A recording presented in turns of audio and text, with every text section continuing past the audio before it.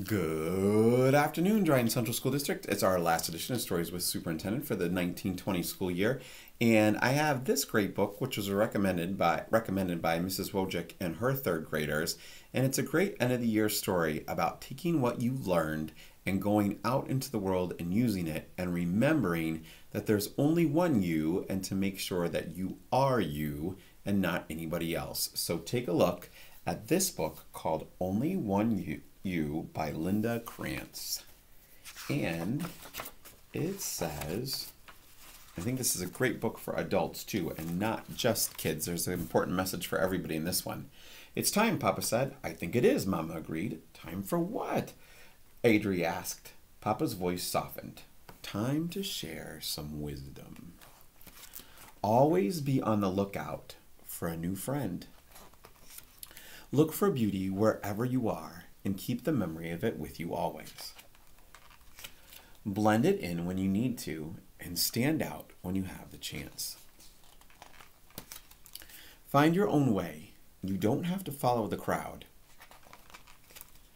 Know when to speak and know when to listen. No matter how you look at it, there is always so much to discover. If you make a wrong turn, circle back.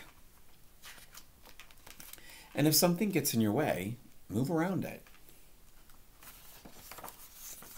Set aside some quiet time to relax and reflect every day.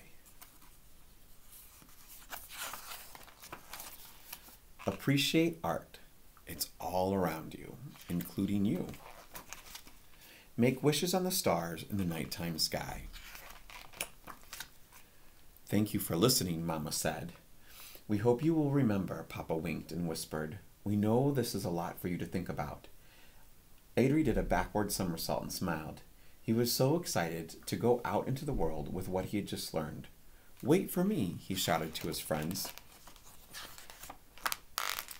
Before he swam away, he turned back to his parents and said, I will remember. Mama kissed Adri on the top of his head. There's only one you in this great, big, wide world, she said.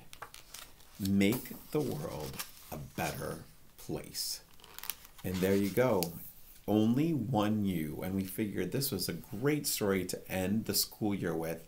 And we know it's been a tough one. We can't wait to see all of you on Wednesday for our parade. And then we hope that you enjoy a wonderful summer and keep in touch with us and share all of your adventures with us this summer. And we'll see you in the fall. Talk to you real soon. Take care of yourself, take care of each other, and always remember your lion pride.